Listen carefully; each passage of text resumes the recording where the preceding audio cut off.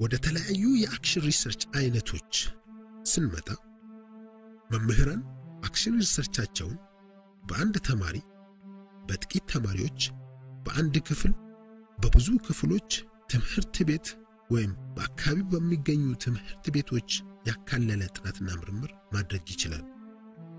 action research የምንሰራበትን ቦታ ስፋትና ጥበት መሰረት በማድረግ በሶስት ዋና ዋና ክፍሎች ይከፈላል። አንደኛ በአንድ መምህር የሚሰራ አብዛኛውን ጊዜ በአንድ ክፍል የተወሰነ ጥናትና ምርምር። አንዳንዴ ያጋጠመን ችግር ወይም ችግሮች የበዙ መምህራን ሆኖ ሲገኝ መምህራን ተገናኝተው የሚሰሩት የጥናት አይነት ደግሞ ሌላኛው ነው።